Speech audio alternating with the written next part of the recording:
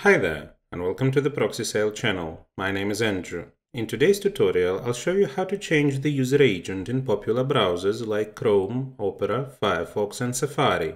User agent is a feature used by web servers to adapt content for specific browsers and operating systems. Changing the user agent allows you to bypass restrictions on web services and access content as if you were using a different browser. Let's begin with Chrome. Launch the Chrome browser Go to the extension store and install the user agent switcher for Chrome extension. Once installed, click on the extension icon. Click on the three dots and select Options. In the Options window, choose from the available user agents or set your own. To set your own, specify the name of the new agent, the agent data in a standard format, and the group it belongs to. Then click on the Add button. To change your user agent, click the extension icon, choose User Agent Switcher for Chrome, and select your agent from the list.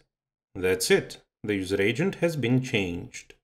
To change the user agent in Opera, open the browser and access Developer Tools by pressing Ctrl plus Shift plus I.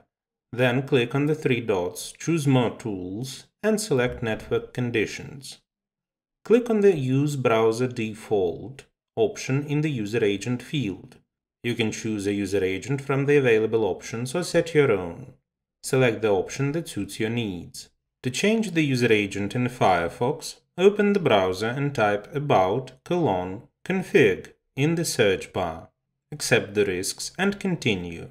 In the search bar, enter general.useragent.override. Click the plus icon, enter your desired user agent, and click on the checkbox. Now website content will be displayed as if you were visiting from the specified browser and device. For Safari, open the browser and depending on the version, click on Menu or Safari and select Preferences. In the window that appears, navigate to the Advanced tab and check the box next to Show Develop menu in Menu bar.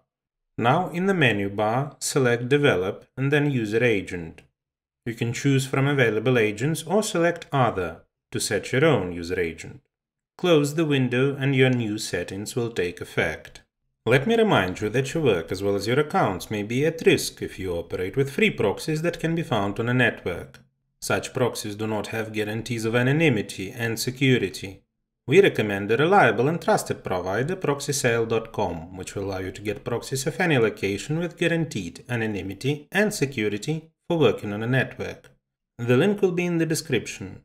Don't forget to hit the like and subscribe buttons. See you in the next video.